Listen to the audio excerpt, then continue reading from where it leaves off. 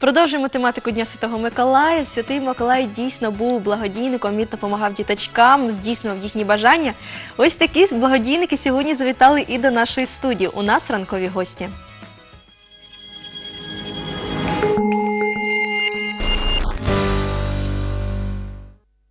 Що ж, дорогі мої телеглядачі, сьогодні в студії нового дня громадські активісти Яна Май та Ролан Байразян. Вітаємо вас! Вітаємо.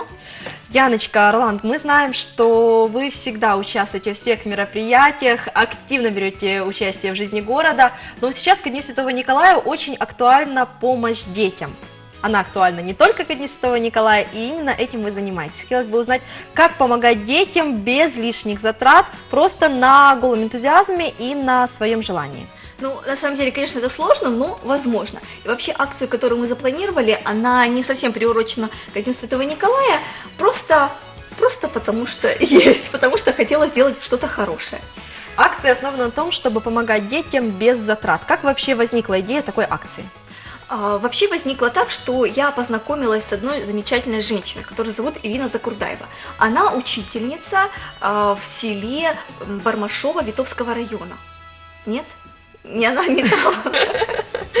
Нет, знаем, знаем. Вот. И она попросила э, меня помочь ей. Э, Дело в том, что у них в школе есть эм, кружок юный журналист.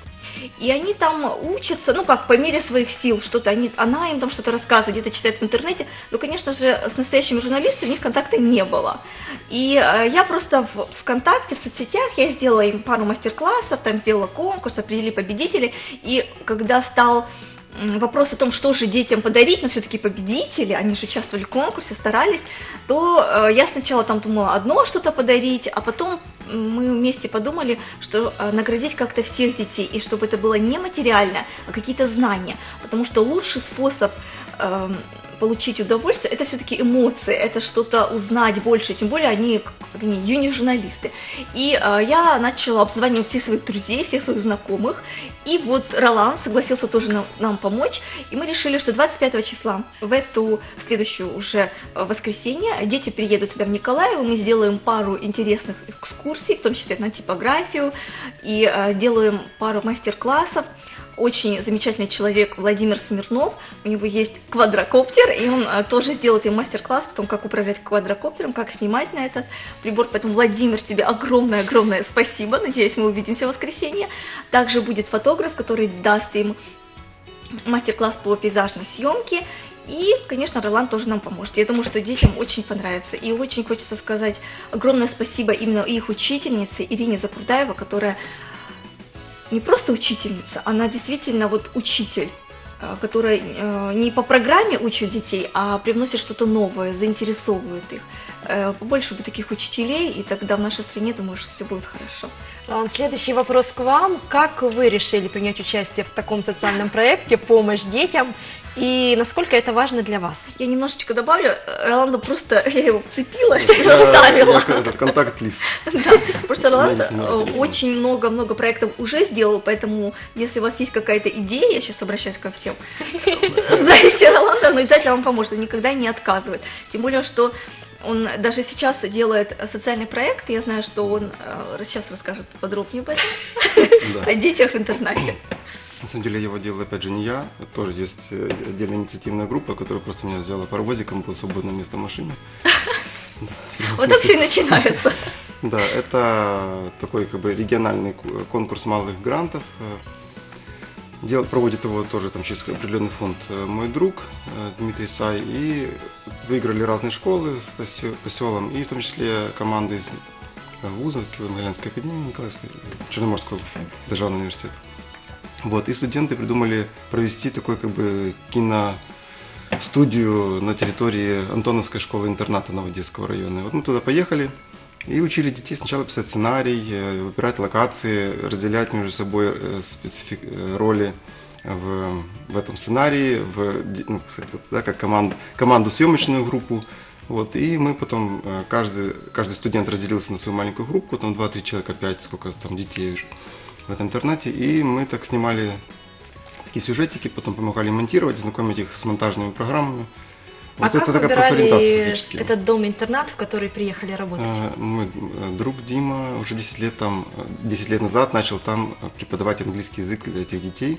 Потом он э, это уже перерос, да, эту позицию, начал заниматься более э, крупными проектами и привлекать вот в этот интернат, как ведет шефство над ними, э, помогает учителям э, э, повышать квалификацию, де- детей возит за границу по, по городу, по Украине. Так вот, в общем, очень сильно помогает, и я и помогаю ему.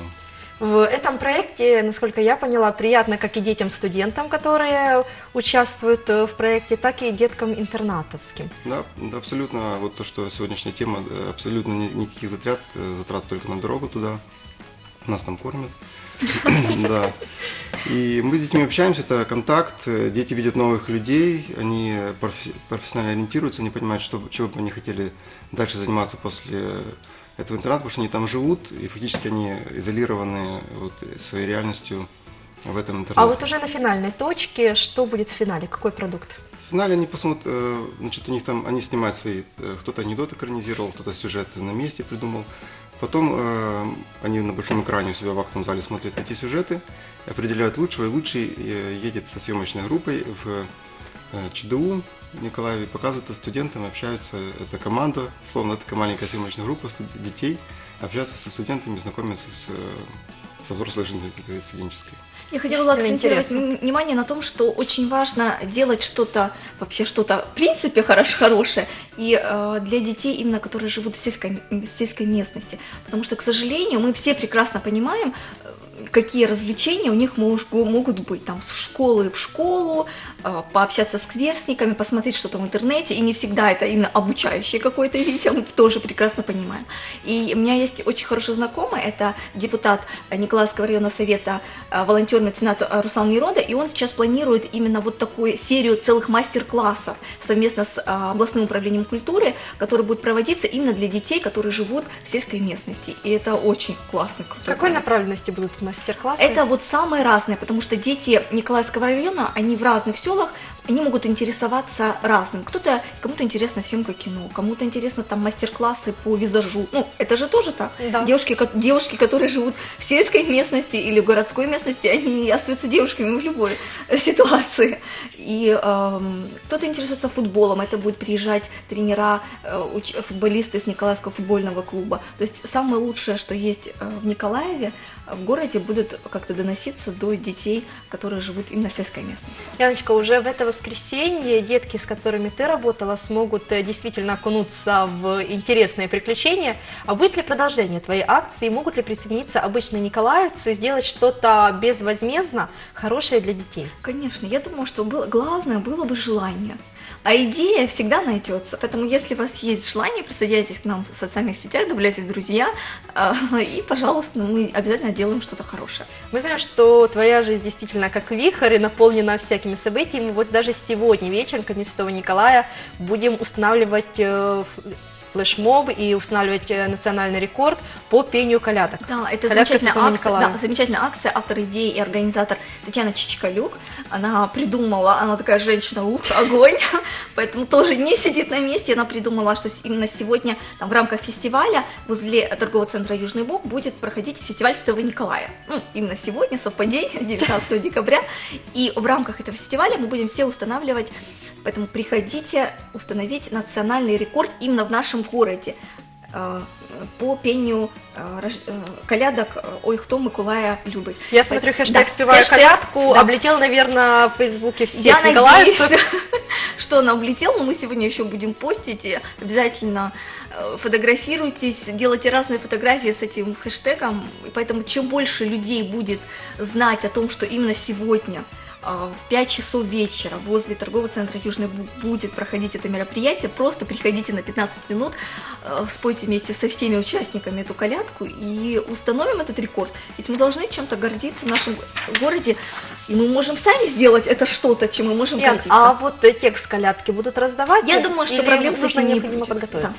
Да. Э, Текст, как бы, я думаю, что не все его знают, поэтому, в принципе, текст будет раздаваться, и все будет нормально. Главное, придите. А если не можете прийти, просто расскажите людям о том, что это будет происходить.